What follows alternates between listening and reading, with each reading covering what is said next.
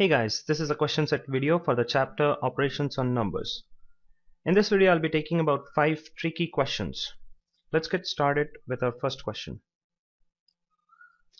Which natural number is nearest to 9495 which is completely divisible by 75? Actually 9495 is not divisible by 75. The question asks you a number which is closest to 9495 which is divisible by 75. So let's actually divide 9495 by 75.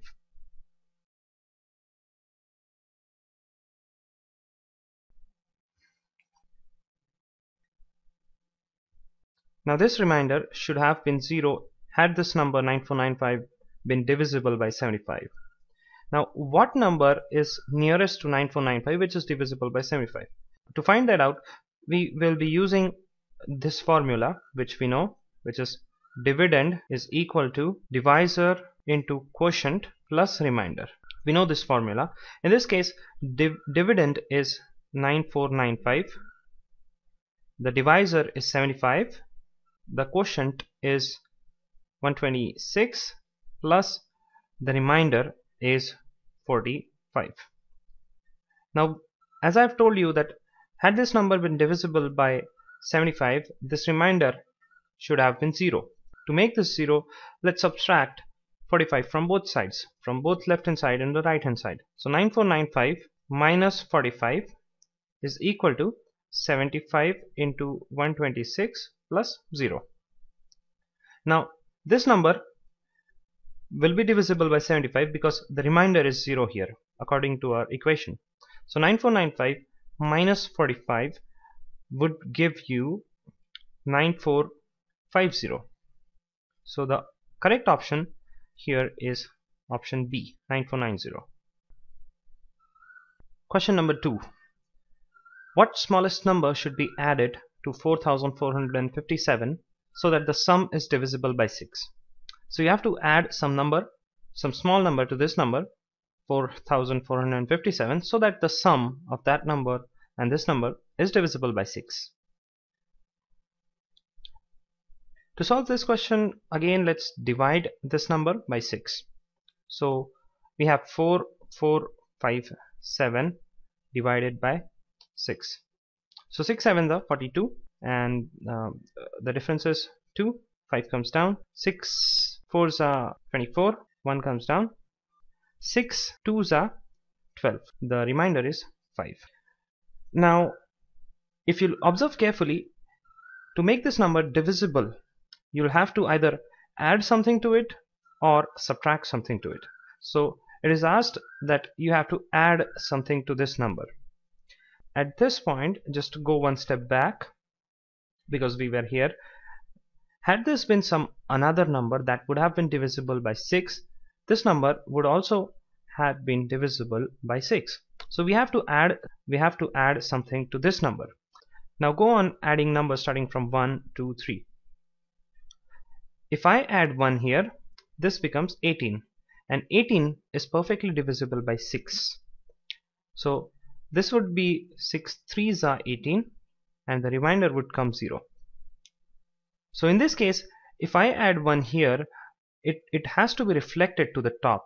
So I'll have to add 1 to the dividend also. So 4 4 5 7 plus 1 it is divisible by 6 so the smallest number that that should be added to 4457 so that the sum is divisible by 6 is 1 so the answer is 1 okay. Time to solve the third question we have been given the difference of two numbers. So let the numbers be a and b. So we get a minus b equals to 1365 now on dividing the larger number by smaller number we get 6 as quotient and 15 as remainder so let the larger number be a and the smaller number be b. So we are dividing the larger number by the smaller number. So we are dividing a by b. So from the division formula we have dividend is equal to divisor into quotient plus remainder. So according to what we have been given the dividend is the larger number. So it is a equal to the divisor is the smaller number that is b. Quotient is 6 and the remainder we are getting is 15 so from from this equation that we have we get a is equal to 1365 plus b now we can equate these two equations. We have a on both the left hand side. So we can equate these equations. So we can get 1365 plus b is equal to 6b plus 15 now this can be solved for b and I'm not going to solve it completely here. I'm just going to uh, get the value of b by solving this equation. So b comes out to be 270 now you can easily find the value of a from this equation the value of b we have is 270 plus 1365 and the value comes out to be 1635 so the correct answer here is 1635 option B. Okay, on to the fourth question. Now you can solve this question using the division formula. Uh, dividend equals to divisor into quotient plus remainder. But that would take time. So my suggestion would be to try all these options. You have to find the number n which is given in these options which is one of these four options if it is divided by 2 the remainder would come as 1 and if it is divided by 5 the remainder would come as 2. So find n.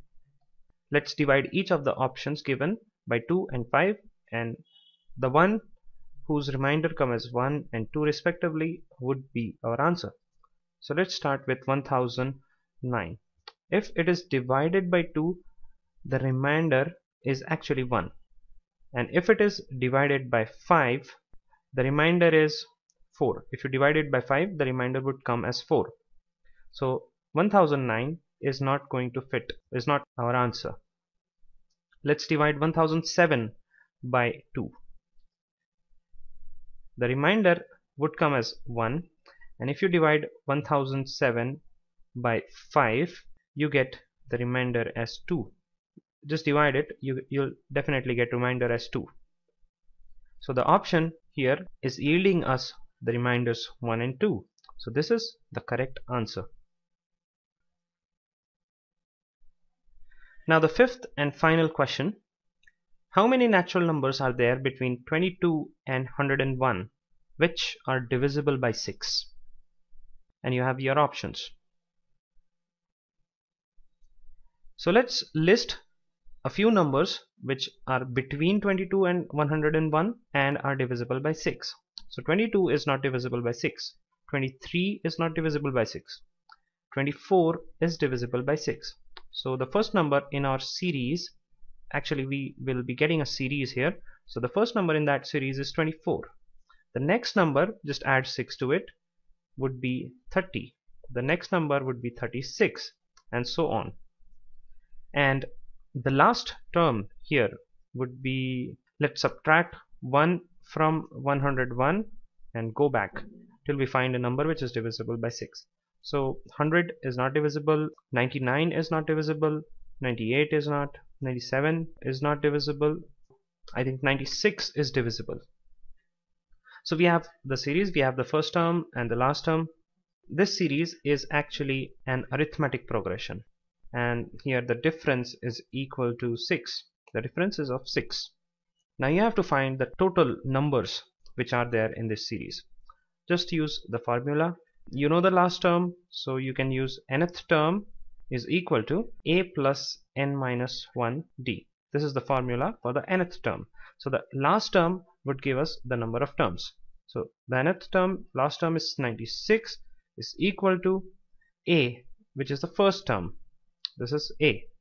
The first term is 24 plus n minus 1 into d. D is 6 now solving this would give n is equal to 13 if you solve this n would come out as 13 so that's it. The answer is 13